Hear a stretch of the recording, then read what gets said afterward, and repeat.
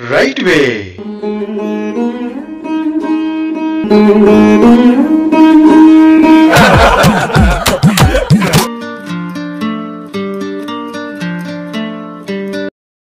ఇవ్వండి.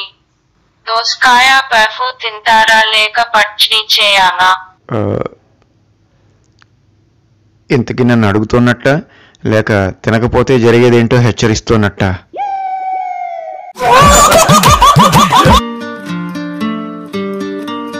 Thank you doctor గారు.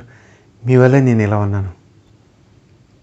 నా దేవుని దయ దేవుడి దయ అదృష్టం. అలా కాదు డాక్టర్ గారు. అసలు మీరే లేకపోతే నేను ఏమైపోయేవాళ్ళను నా దేవుని దయ దేవుడి దయ. కానీ మీరే డాక్టర్ గారు నన్ను కాపాడారు. అంతా దేవుడి దయ.